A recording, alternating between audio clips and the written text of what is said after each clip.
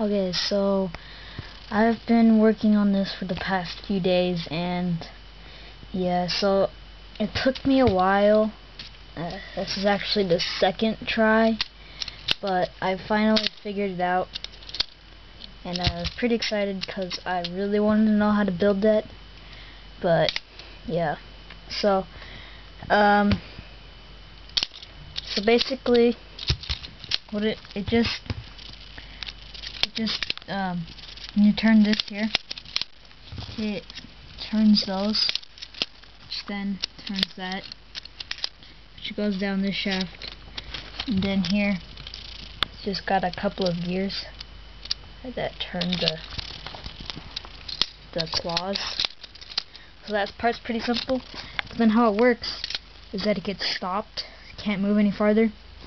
So then when you turn it, since these gears can't move, it just lifts the whole thing up. And when it's open, it can't move any further backwards, it just pushes it down. So yeah, that's basically how it works, so yeah. Okay, thanks for watching. Please rate, comment, and subscribe.